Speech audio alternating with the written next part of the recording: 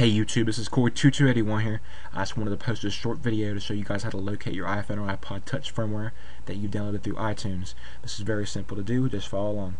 First of all, you're going to go into Start, Computer, um, go to Local Disk C or whatever um, disk you have Windows installed on.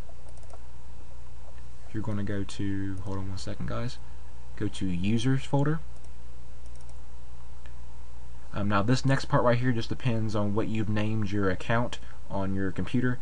Uh, mine is called Koi2281, but it could just differ, guys. So just try to find the one that's named um, after whatever you named your account.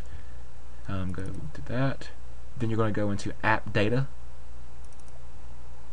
Roaming.